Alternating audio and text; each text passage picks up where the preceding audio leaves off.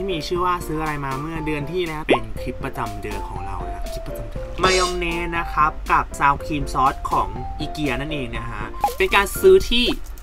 ซื้ออีกแล้วเหรอ อันเก่ายังใช้ไม่หมดเลย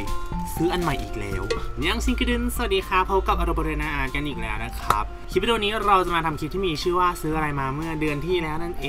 ง ทุกๆ เดือนเราก็จะมาเจอคลิปนี้กันเป็นประจำอยู่แล้วนะครับเป็นคลิปประจำเดือนของเรานะคลิปประจำเดือนเป็นคลิปที่เราจะหยิบ มอไซค์มาขับไปข้างนอก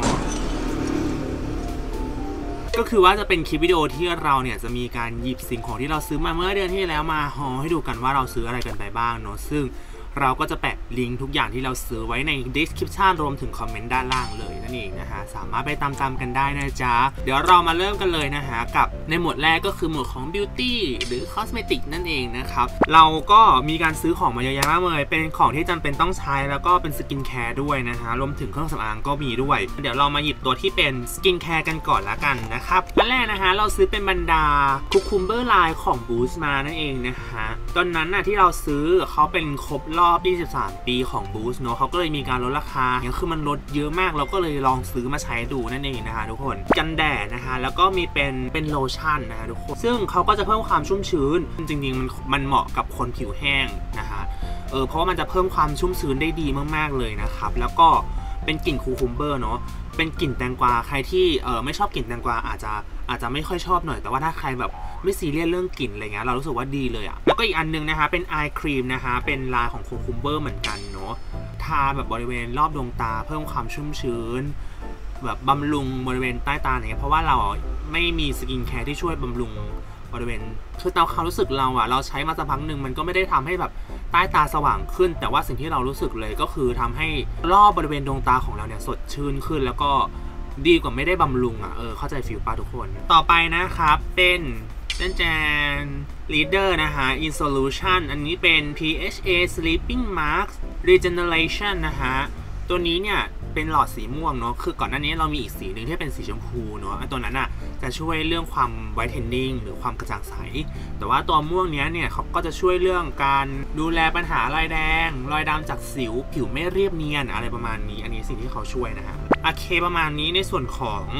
สกินแคร์นะครับ ต่อไปเป็นบรรดาเครื่องสำอางนะครับ เดือนที่แล้วอะเหมือนลงทุนกับการซื้อเครื่องสำอางเพื่อจะมารีวิวอะไรอย่างนี้ ตัวแรกเป็น Intuit นะครับ Intuit ตัวนี้เนี่ยเป็น In2it for Men นะครับทุกคนก็จะมีเป็นแป้งนะครับ แล้วก็มีเป็นรองพื้นนะ เราซื้อเป็น 2 สีด้วยกัน คือตอนแรกเราซื้อมาสีหนึ่งแล้วมันขาวมากเราก็เลยไปซื้ออีกสีหนึ่งมานะครับ ซึ่งเดี๋ยวเรามารีวิวให้ดูกันอีกทีหนึ่งแล้วกันนะจ๊ะ แล้วก็มีเป็นลิปมันของเขาด้วยนะฮะลิปสำหรับผู้ชายนะจ๊ะ สเปรย์น้ำแร่นะฮะอันนี้เป็นเหมือนแบบสเปรย์ setting setting sprayอะไรประมาณนี้ทุกคน ใช้แบบก่อนแต่งหน้าแล้วก็หลังแต่งหน้านะครับ อันนี้โอเคเราชอบนะ แล้วก็เครื่องสำอางอีกตัวหนึ่งนะฮะเป็นเป็นลิปสติกนะครับ อันนี้เราก็ทำการรีวิวไปแล้วเรียบร้อยนะฮะสามารถไปย้อนดูรีวิวได้เลยตรงตรงนี้นะจ๊ะนั่นก็คือ for you to you are mine นะฮะที่ทำร่วมกับ beauty blogger หลาย ๆ ท่านเลยนั่นเองนะครับ ตัวนี้เนี่ยเราทำรีวิวไว้แล้วก็สามารถไปดูกันได้นะจ๊ะ ซึ่งทุกวันนี้ก็ยังใช้อยู่แล้วก็พกสามอันเนี้ยสามสีนี้เลยนะพกติดกระเป๋าไว้เลยคืองงมาก เพราะว่าแบบชอบอะเป็นมนุษย์ที่ทาลิปสีเดียวไม่ได้ต้องทาหลาย ๆ สี ตัวสุดท้ายสำหรับเครื่องสำอางนะฮะ ก็คือสเปรย์น้ำแร่จาก Q Paste นะฮะตัวนี้นี่เขาจะเป็นสูตร refreshing mineral facial mist นะฮะ เพิ่มความชุ่มชื้นแล้วก็ช่วย setting makeup ของเราอะไรประมาณนี้นะ เราชอบมากแต่ว่าเขามีน้ำหอมนะ ใครที่แบบแพ้น้ำหอมอะอาจจะต้องหลีกเลี่ยงสำหรับต่อไปเนี่ยเป็นสิ่งของบิวตี้ที่ต้องใช้ประจำประจำนะฮะ สิ่งแรกก็คือ Makeup Remover นะครับ อันนี้เป็นของการนิเย่เราซื้อมาจากใน If and Boy เขาลดราคาตอนที่เราไปซื้อเนาะ เออแล้วก็ตัวนี้เนี่ยเราใช้อยู่เป็นประจำอยู่แล้วนะครับ ก็เลยซื้อซ้ำอีกหนึ่งรอบนะ เพราะว่ามันหมดแล้วนะฮะทุกคน ต่อไปนะคะเป็นสำลีนะ เป็นสำลีจากโมบี้นะคะเป็นสำลีแผ่นใหญ่แบบใหญ่มากเนี่ยใหญ่มากจริง ๆ ทุกคนคือแบบสี่เหลี่ยมนี้เลย เวลาเราใช้เนี่ยมันใช้ได้ทั่วหน้าดีแล้วมันก็เช็ดได้สะอาดดีทุกคนเราก็เลยชอบแล้วก็เลยซื้อซ้ำอีกรอบหนึ่งนะคะ คน love มาก อันนี้คือ love มากจริงๆ แล้วก็อันสุดท้ายนะคะเป็นน้ำตาเทียมนะครับ Natear UD นั่นเองนะครับ อันนี้เราชอบเพราะว่าน้ำตาเทียมแบบรายวัน ประมาณนี้นะฮะสำหรับบรรดา beauty นะฮะพวกสกินแคร์เครื่องสำอางต่างๆ สิ่งของที่ใช้ประจำวันเกี่ยวกับ beauty ของเรา ต่อไปเราจะมาพูดถึงเรื่องของสัพเพเหระกัน อันแรกที่เราจะหยิบขึ้นมาเนี่ยนั่นก็คือมายองเนสนะครับ กับ sour cream ซอสของอีเกียนั่นเองนะฮะ อันนี้เป็นมายองเนสอันนี้เป็น sour cream นะทุกคน คือเราก็มีความเห่อระดับหนึ่งเพราะเราก็เป็นคนที่ชอบกิน sour cream แล้วก็มายองเนสก็เลยไปตำลองซื้อดูนะจ๊ะปรากฏว่าชอบมากมากมากมากมากมากกลิ่น sour cream คือหอมมากแล้วก็จะมีความเปรี้ยวๆหน่อยอารมณ์แบบน้ำสลัดเออเขาเป็นน้ำสลัดเนอะมันก็จะมีความเปรี้ยวๆหน่อย ส่วนมายองเนสนี่ก็คือดีกินแล้วนึกถึงมายองเนสที่เป็นดิฟของแมคโดนัลล์เลยทุกคนชอบ ต่อไปน่าจะเป็นสิ่งที่ตอนนี้ทุกคนก็ต้องใช้แหละนะ ราะว่ามันจำเป็นมากถ้าไม่มีตัวนี้เนี่ยทุกคนก็จะเข้าห้างไม่ได้นั่นเองนะจ๊ะนั่นก็คือผ้าปิดจมูกนั่นเองเจนแจนซื้อของแบรนด์นารายามานะครับ เป็นแบรนด์ของคนไทยที่เขาขายกระเป๋าเนอะเขามีผ้าปิดจมูกขายด้วย อันนี้ 60 บาทเอง เราชอบมากเพราะว่าเป็นผ้าที่มันไม่ได้หนาเกินไปอะพอแบบหายใจได้เนอะใช้แล้วหายใจสะดวก ใครหาผ้าปิดจมูกดีๆ ใช้หนึ่งอันเนี่ยลองไปดูของนารายาได้นะจ๊ะ แล้วก็มีที่พ่วงมาตรงนี้นะฮะ เป็นสายคล้องแว่นหรือว่าคล้องแมสนะครับทุกคนเป็นรูปดอกเดซี่นะนี่สีขาวนะ อันนี้เราซื้อมาจากในช้อปปีนะครับ เราซื้อมา 2 เส้นด้วยกันนะฮะ เป็นสีแดงกับสีขาว สีขาวเนี่ย เราจะใส่ก็ต่อเมื่อวันนั้นเราใส่เสื้อผ้าสีเยอะเกินไป เช่นแบบเออใส่สีเขียวเงี้ยเราก็จะใส่สีขาว ไป แต่ถ้าวันไหนเราใส่แบบสีดำหรือสีขาวเอยเราก็จะใส่สีแดงไป เพื่อให้มันมีความแบบเออเป็นเครื่องประดับที่มีความโดดออกมาหน่อยอะไรอย่างนี้ ซื้อมา 2 อันนะคะทุกคนจริงๆแล้วสามารถคล้องได้ทั้งแว่น แล้วก็คล้องได้ทั้งแมสเลยคือเราอะซื้อเป็นตัวเหมือนแบบเป็นตะขอมาเขาจะมีเป็นตะขอแบบตะขอที่คล้องแว่นแล้วก็เป็นตะขอที่แบบ คองแมสเราสั่งเพิ่มมาไม่แพงด้วยนะทุกคนไปลองตังตามกันได้น่ารักดี ต่อไปเป็นกระเป๋าจาก Uniqlo นะคะทุกคนอันนี้เป็นแบบไซส์ L นะจ๊ะเขาใบใหญ่มาก ใหญ่มากจริง ทุกคนดูดิ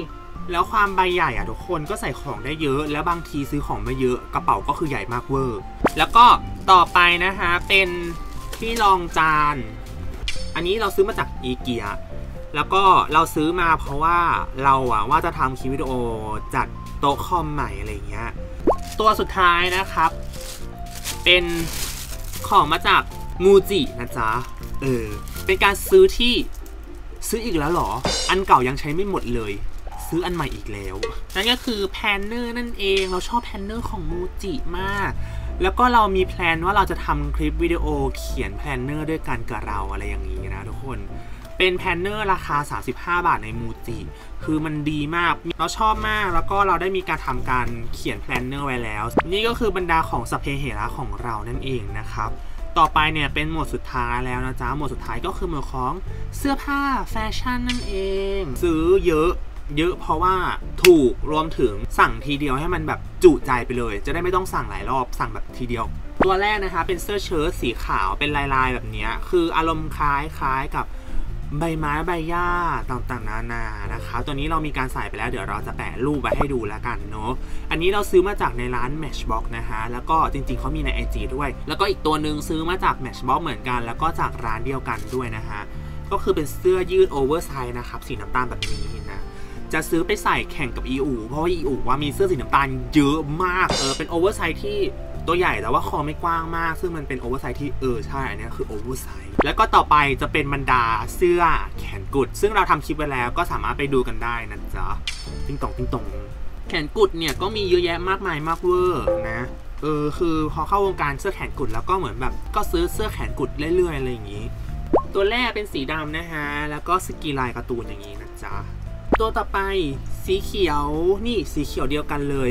แต่ว่าตัวนี้เนี่ยเป็นแขนยาวเนาะคือก็จากจากร้านเดียวกันนั่นแหละนะเออพูดเลยแล้วกันว่าเออก็ซื้อมาจากร้านเดียวกันกับร้านเสื้อแขนกุดตรงนี้แหละนะเป็นแขนกุดสีเขียว แต่ว่ามีสกรีนนิดๆหน่อยๆน่ารักน่ารักกรุบกริบแล้วก็มีสีเขียวอีกตัวหนึ่งแต่ว่าอันนี้จะเป็นสีเขียวที่มีความตุ่นๆหน่อยนะอันนี้เรามีการใส่ไปข้างนอกมาแล้วเรียบร้อยนะคะทุกคน สุดท้ายนะคะเป็นสีขาวนะ สีขาวเรียบๆไม่มีลายอะไรเลยจัน ประมาณนี้สำหรับสิ่งของที่เราซื้อมาเมื่อเดือนที่แล้วนะฮะเดือนอะไรสิงหาคมนะฮะทุกคน ถ้าหากว่าสิ่งไหนที่เพื่อนๆเห็นแล้วรู้สึกว่าแบบเฮ้ยอยากไปตามตามๆซื้อจากไหนคะอะไรอย่างเงี้ย เราแปะลิงก์ไว้ให้ด้านล่างเลยนะ สามารถไปตามโลเคชันด้านล่างที่เราแปะไว้ให้ได้เลยนะครับทุกคนแล้วก็สำหรับคลิปวิดีโอนี้เนี่ยมีเพียงเท่านี้นะ ถ้าเพื่อนๆชื่นชอบซีรีส์นี้เนี่ย ก็ฝากกดไลค์ กดแชร์ แล้วก็คอมเมนต์บอกกันหน่อยชอบมากค่ะ อยากให้ทำบ่อยๆ อะไรเงี้ยก็คอมเมนต์บอกกันได้นะจ๊ะ แล้วก็อย่าลืมไปกดไลค์แฟนเพจ Instagram ตรงนี้ ดูวิดีโอด้านข้างสองข้างนี้ แล้วก็ตรงกลางตรงนี้กด Subscribe กดกระดิ่งกันด้วยเวลาเราอัพวิดีโอใหม่ๆจะได้แจ้งเตือนเพื่อนๆกันนั่นเอง คลิปวิดีโอนี้เราขอตัวไปก่อนนะจ๊ะบ๊ายบายเฮ้ยแบตหมดพอดีเลยฮะงง